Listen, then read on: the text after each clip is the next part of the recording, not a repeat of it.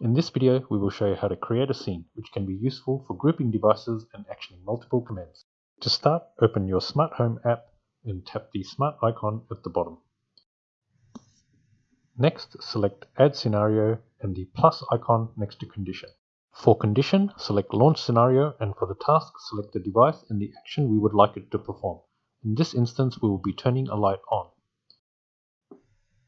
Once we have selected the switch command as on, repeat this process for any other devices you would like to add to the group.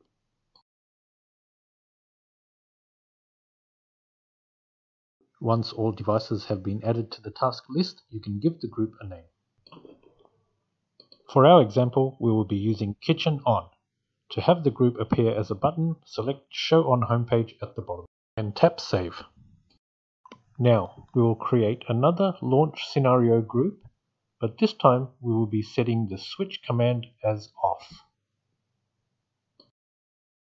Once all commands and devices have been added to the group, let's go ahead and give it a name. In this instance, we will be using kitchen off. Once this is done, make sure show on homepage has been checked and tap save. We can now use our two saved scenes to turn our group devices on and off.